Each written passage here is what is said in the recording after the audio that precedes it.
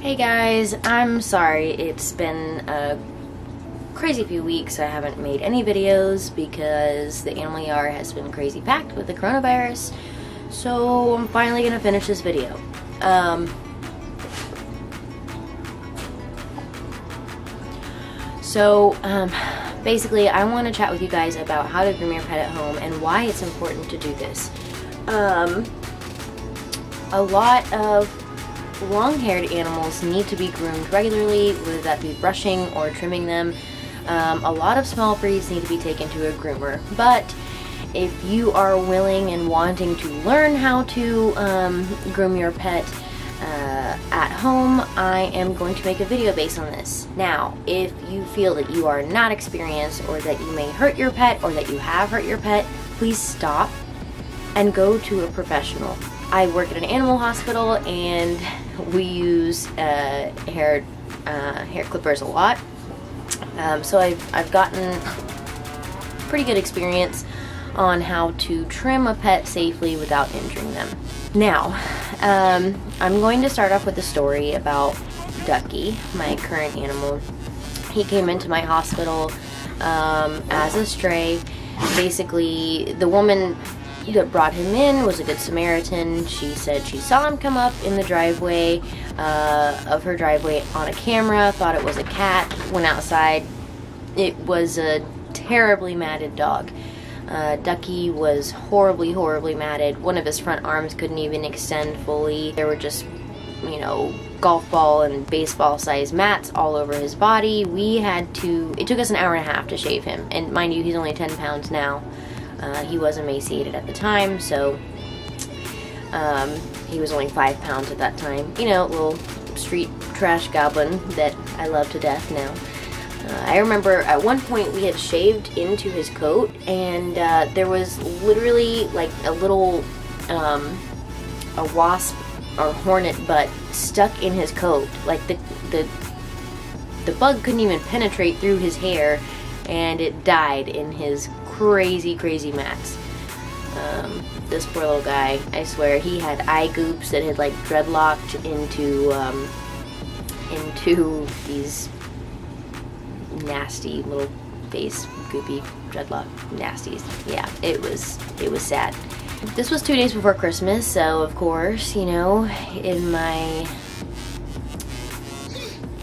very loving heart, I, I couldn't see him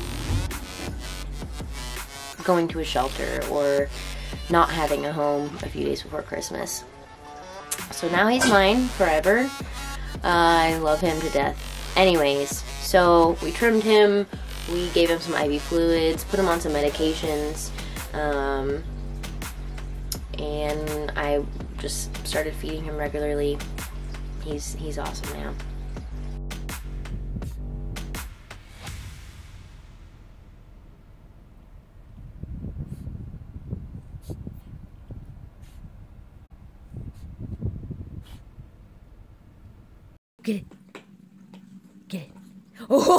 Nice try, nice try, nice try. ha ha ha All right, come on.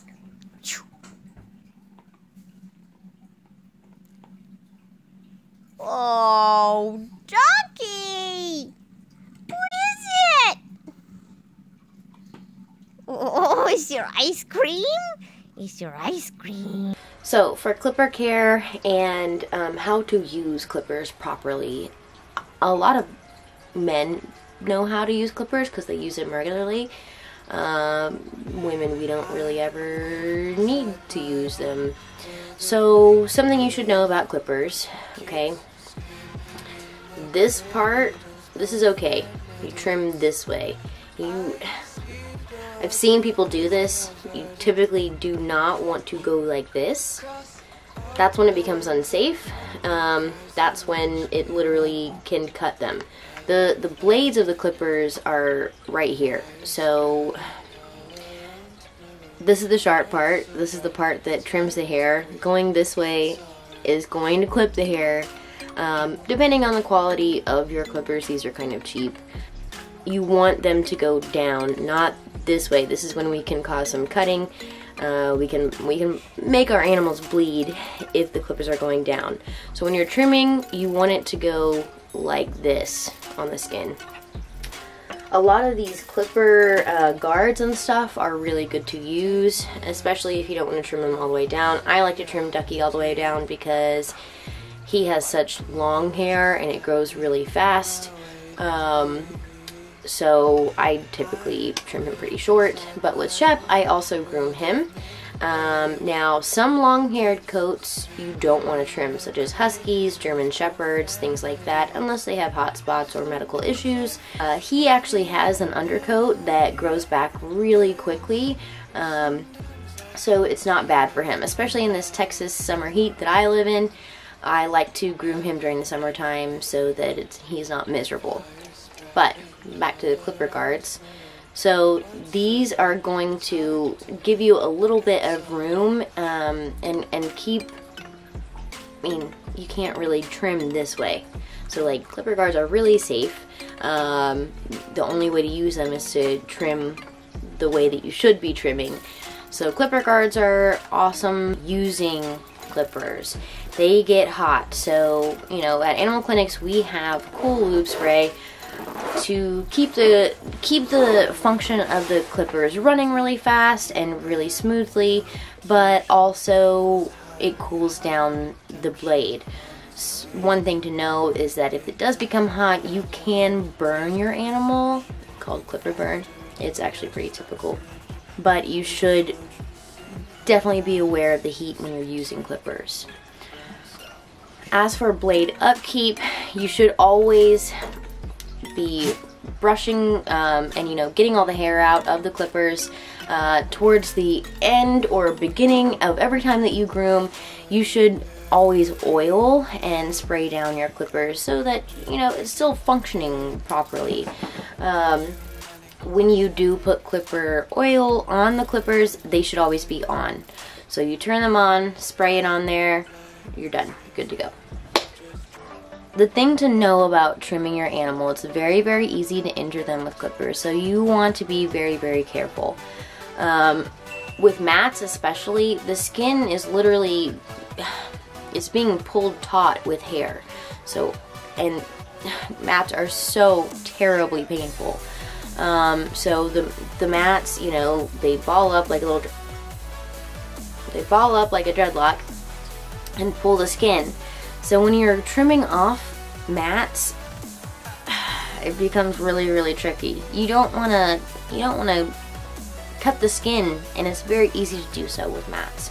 If you are uncomfortable with trimming off a mat of your animal, take it to a professional. Take it to your local veterinarian or your local groomer, and they can help you out.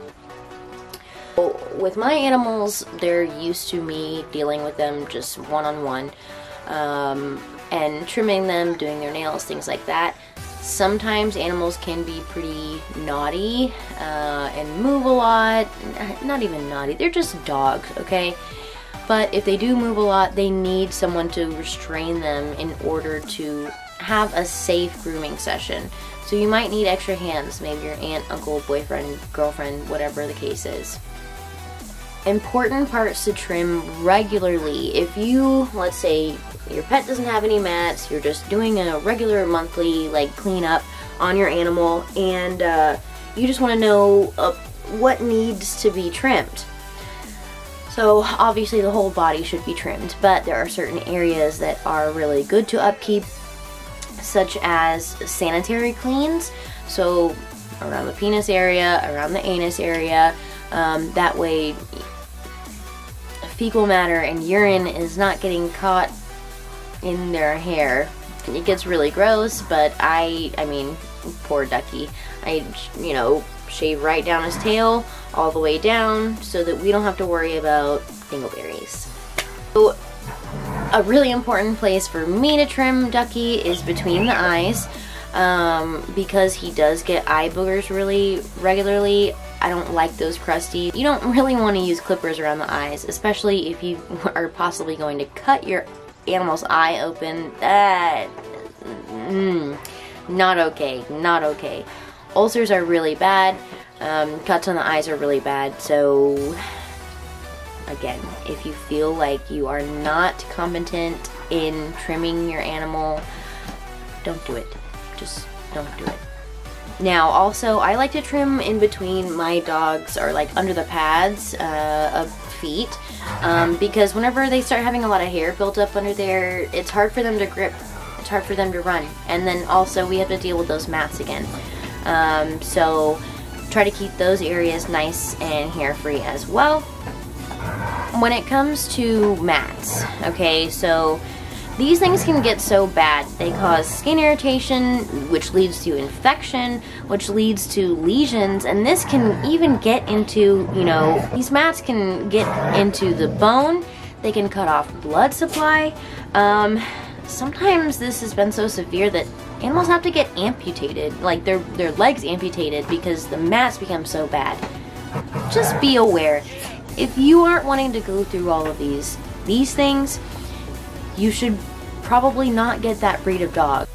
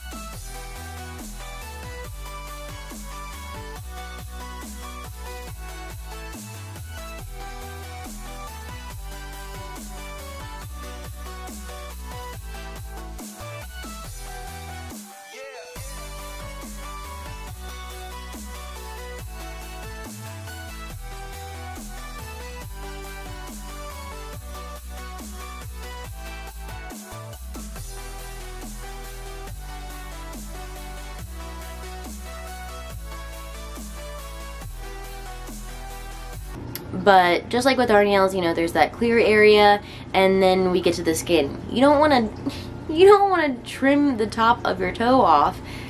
That's what happens. Uh, show clippings things like that are kind of inhumane. I do believe that Sheppy used to have that done because every single toe he cries out even if nothing happened he's so traumatized so we just do it at home, just me and him, um, not at the clinic because he's so terrified of me. So when we look at this, right, we have a little pink toe in here and then the quick.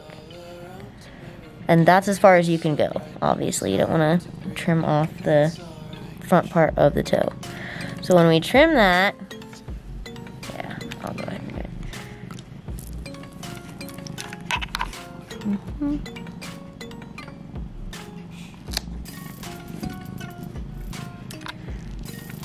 Now, like clipping cat toenails, hi. Clipping cat toenails is, I mean, if they don't have scratching posts and stuff like that is important, but you want to pull, push the toe out. You just push the little pad and the nail will pop out. Okay, you got the rest of them? Yeah.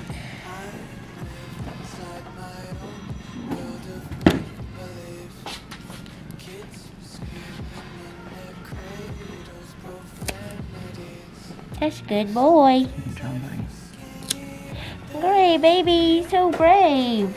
So brave boy. Okay, give us your foot. I know. Ew. I'm gonna grab a white. I'll show you what a quick looks like. There's a there's a little curvature um, up to the point of where the toe is. and starts to be placed. Um, you are good to trim all of that all of that curved area but once it stops being curved and there's not a hollow point on the inside of the nail that's where the toe is. Stop. Stop there. If your dog's toenails are still an inch or two longer, even after that, it might be best to take it into a veterinarian, have your pet sedated maybe, and have them clip the toes all the way down. I, could never do that. I know some people do. Um, but then, you know, the problem is too, if their nails are too long, they can grow into the pads, which is a whole nother issue of infection, um, of, of it's it's not okay. They they can't walk. Um, their bones start to grow that way. You know, like they start getting arthritis.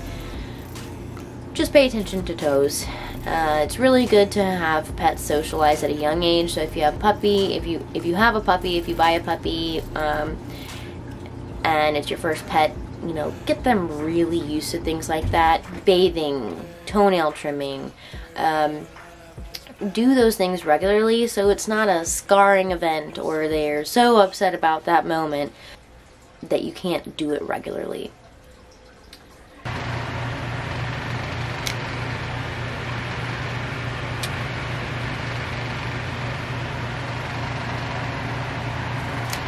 I'm not done yet. I'm not done.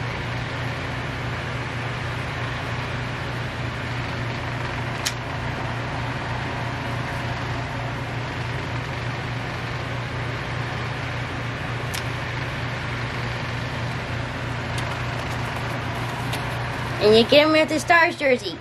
Get him with the Stars jersey.